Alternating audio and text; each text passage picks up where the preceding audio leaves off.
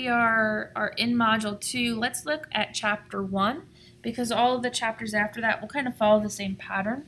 Chapter 1, there is a link that says to read Chapter 1 Color Management. The textbook is currently, at the time of this recording, available for free, and so you can click on this link. If you are on campus, it will just automatically load the book and you can start reading. If you're off campus, it will ask you, I believe, for your My, My SLCC username and password, but you should be able to access it for free at home without any problems. Um, once you're done reading, you can check out the color management lecture. And so what we've done is we've included three things on the lecture materials pages for each chapter. Um, now some chapters will have all three, some of them will have one, some will have two, but in general there are three categories of things that you will see. The first is a slideshow lecture, and so every chapter has a slideshow lecture. Some are not fleshed out as much as others. Um, chapter 1 is thoroughly fleshed out, and so if you use the little arrow thing, you can click through. You can even make it bigger so it takes up the whole screen. I do apologize. I hit a button that added these animations, and I can't figure out how to turn it off. But I believe after the second one, they're not on there anymore, so it won't be as annoying as all these animations are. Okay, the second thing you might see is a series of recorded lectures. And so you can look through the slideshow and you can read through it and you can kind of absorb the information that's being presented. This might point out some things from the chapter that are more important than others since the chapter will cover more than the lecture covers. And then I like to record the lectures, and so below that you might see the same slideshow, but now I've recorded a lecture over top, and so it might be easier for you just to watch the video. And then what is not included with chapter one are supplemental videos. And so if we're covering a topic that I think that they will be better covered with some adobe.com videos or things that I found on YouTube, below these two things you'll see additional videos. There is a knowledge test and a skills practice for almost every chapter, so you'll notice that some chapters don't have the skills uh, practice. That's because they're kind of knowledge-based chapters and not skills chapters. The knowledge test can be taken two times. There's no time limit. I'm going to go ahead and take this quiz so you can kind of see what the questions are like. The idea of the knowledge tests are not to um, challenge you and make you panic and make you feel like you're going to fail the class. They are asking questions that are pulling out information from the chapter that are important for what we're doing. And the questions are all in the order that you'll find them in the book. And so you could open up your knowledge test and you could take the test alongside your reading as you're reading through. You could read the book and then watch the lecture and then take the knowledge test and just see how you do on it. And then if you get an 8 out of 10, you can take it again.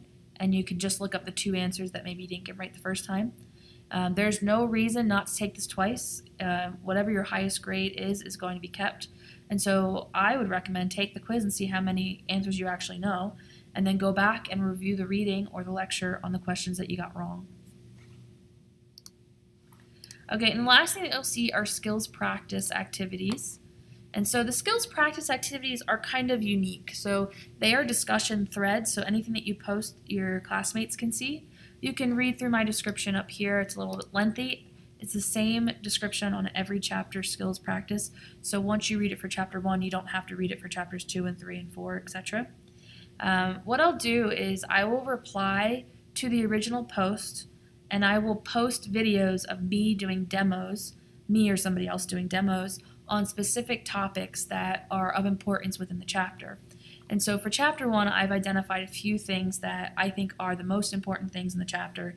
Launching Photoshop, viewing and changing document color modes, choosing a color space and color settings, like I pointed out on the, the activity, the, the project a few minutes ago. Printer Profiles 101, we'll cover printer profiles in great detail in Chapter 24, but we'll introduce them in Chapter 1 here. And then talk about document color profiles. And so what I'll do is I will either, um, in these discussions below where I've posted the topics, I'll post extra videos I found on the subject, I'll post a video of me walking through specific things, or I'll post uh, worksheets or something like that that might help you with these topics.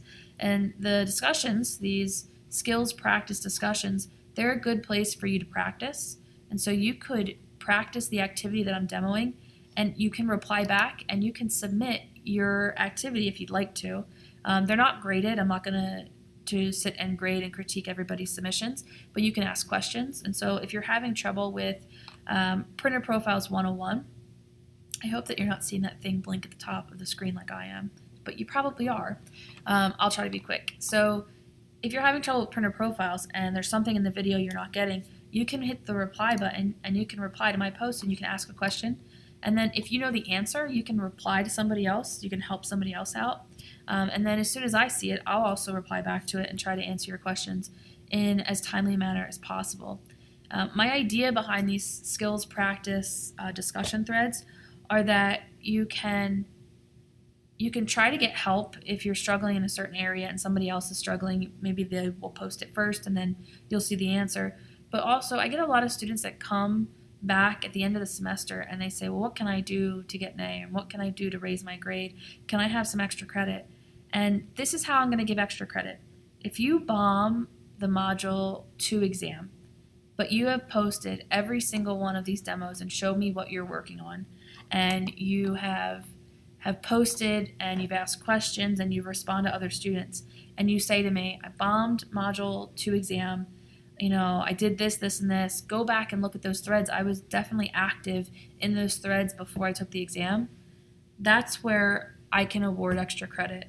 And so so my policy for extra credit in ART 1280 is that if you were active, if you were active in the discussion thread, um, and you would like to request extra credit um, for a particular module, I will give you one point of extra credit for each chapter that you were actively participating in. And so Module 2 has five chapters. Well, it has six, but five and six are kind of combined in one. You could earn five points onto your exam, um, which the exam is out of 30 points. And so if you got a 20 out of 30, that's not so good. But if you got a 25 out of 30, that can drastically increase your score. And so this extra credit policy is not listed anywhere except for in this video. And so those of you watching the video, you can write this down and you can email me um, after you complete your exam if you feel that you need to add that extra credit to your score.